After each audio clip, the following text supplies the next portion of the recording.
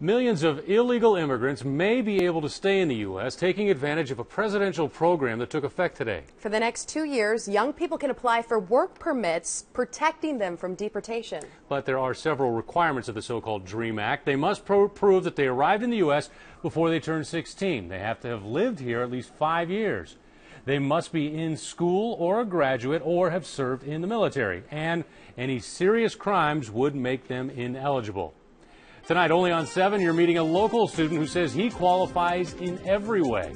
Here's KETV News Watch 7's Ryan Luby. Keep going. If you're someone like Alfonso Maldonado, certainty has been hard to come by.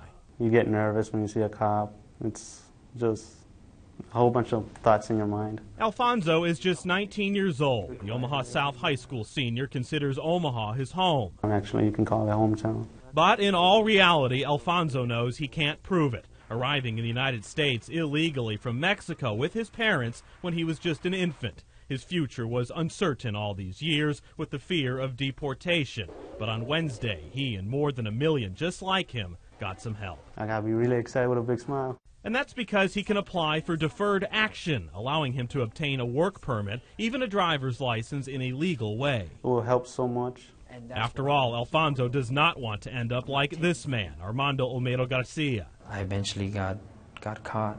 The I team introduced you to him in July. Armando's been in jail for more than a year now for using a bogus social security number, not to be malicious, but to secure a good paying job. Try to be a, a, productive citizen. Armando would have qualified for deferred action had he not gone to jail. He shares the same attorney as Alfonso, Bassel El-Kasaby, who says the deferred action initiative has him busy this week. So you're pretty much booked up. We are, yes. While El Kasabi says the initiative is a step in the right direction, he says it does not do enough. It's not that great.